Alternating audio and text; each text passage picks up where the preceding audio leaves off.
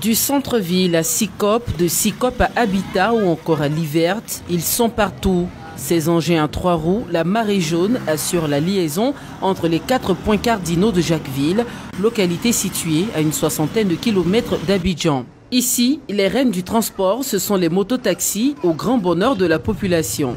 Je, je, prends cet engin parce qu'il est, rapide et c'est ce qui est requis dans la, dans la ville. Quoi.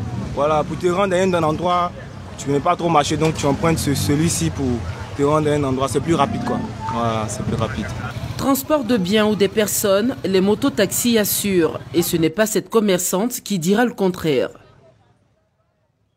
J'utilise chaque jour l'électricité pour venir au travail et j'utilise aussi pour rentrer chez moi. C'est avec l'électricité que je vais payer ma marchandise. Et selon les responsables des gares routières, la ville enregistre à ce jour plus de 600 mototaxis. De quoi donner du travail à la jeunesse. Les chauffeurs de ces tricycles réussissent à se faire une place au soleil avec cette activité. Par jour, pour celui qui roule, par exemple, moi je suis un chauffeur. Et par jour, par exemple, ça dépend. Il y a des jours, je peux avoir 13 000. Puisque ici, il n'y a pas de taxis communaux et c'est les motos-taxis qui sont des taxis communaux. Donc, selon moi, par jour, je gagne 13 000. Et il y a d'autres, par contre, qui vont au-delà de 13 000. Selon moi, par jour, 13 000 à 15 000. Une bonne recette journalière, au prix d'entorse parfois aux côtes de la route. À Jacquesville, beaucoup de passagers se plaignent de la conduite de ces jeunes. Des fois, j'emprunte, des fois, je marche. Parce que maintenant, il y a d'autres qui font accident, il y a d'autres qui n'ont pas permis.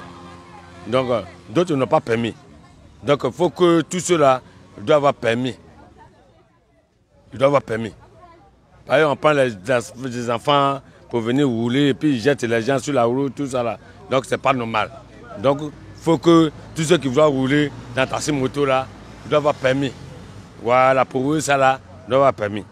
Elles ne font pas l'unanimité, certes, mais les mototaxis demeurent reines de Jacquesville. Sans elles, impossible de circuler et de profiter de la douceur et du soleil de cette belle ville balnéaire.